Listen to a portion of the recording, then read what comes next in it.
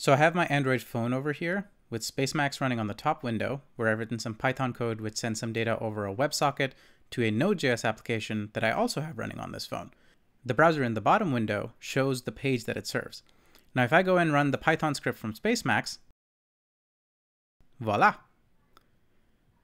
All of this is running on board this phone. And in this video, I'm going to show you how you can set your Android phone so that you can do this kind of development as well.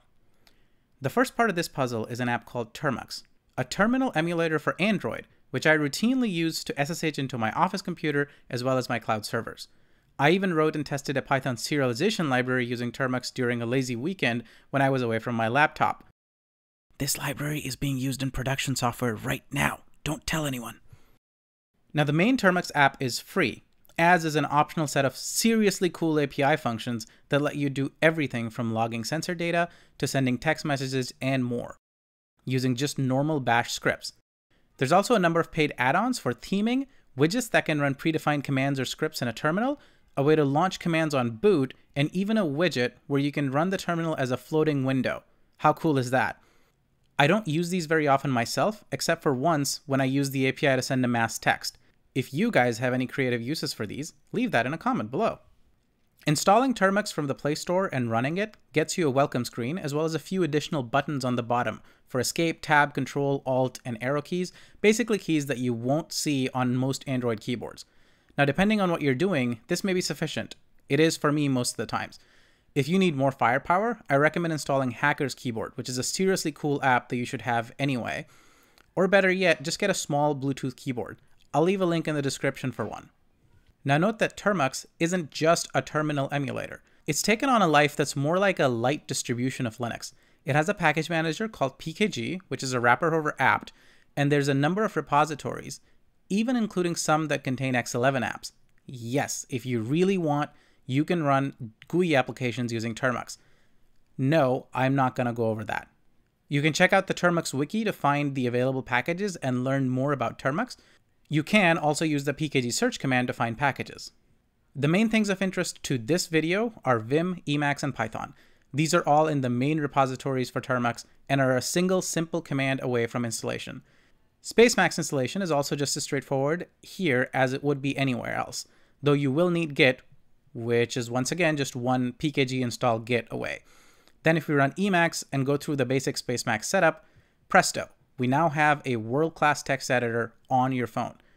Let's edit some org files, because what else are you going to do with Emacs, right? This is actually a pretty decent solution for accessing and editing your org files on the go. Now, same thing for Python, a simple pkg install Python, and you get Python 3.8 with pip installed. And then using pip, you can install things like virtual env wrapper and get yourself ready for Python development that way.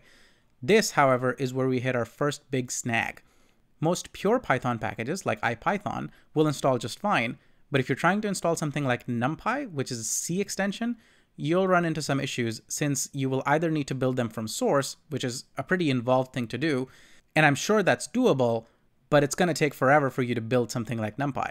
A better solution for this case, in my opinion, is to grab the It's Pointless repository, as shown here in the Termux wiki. Then popular packages like NumPy and SciPy become available through PKG. Note that this means that you will need to allow the use of system packages in your virtual envs when you create them, and in some cases you may need to also tell pip to not install these dependencies. It's a less than ideal situation, but given that this is on your phone, given these circumstances, I think it's okay. For my demonstration today, after NumPy, I also installed a package called 3Wiz, which is a package I wrote for 3D visualization in a browser. So with all of this set up, I can run Spacemacs, switch to the virtual env, and try importing the plot3d function from 3Wiz. Note that we get full autocomplete as well. Anything that you expect from Spacemacs normally is going to be present here, which I think is really, really awesome. Now let's turn our attention to Node.js. We can search for Node using the pkg command and then install the relevant package. npm also gets installed with Node, which is nice, so I can just do npm install and get all the dependencies for my package. And then npm start gets the app going. It even automatically switches me to the browser and presto. My Node.js app is now being served from my phone with browser sync enabled and all the normal bells and whistles that we get with modern web development.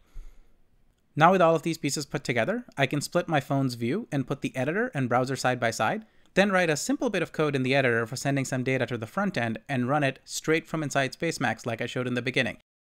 And there we have it. You have a polyglot development environment with a world class text editor. All that power is literally in the palm of your hands. So, what do you guys think of Termux? Can you think of situations where it may be useful to you for development specifically? Let me know in the comments. Thank you so much for watching this video. If it was helpful to you, please leave a like and consider subscribing and hitting that bell so you're always the first one to know when I post new content. Bye!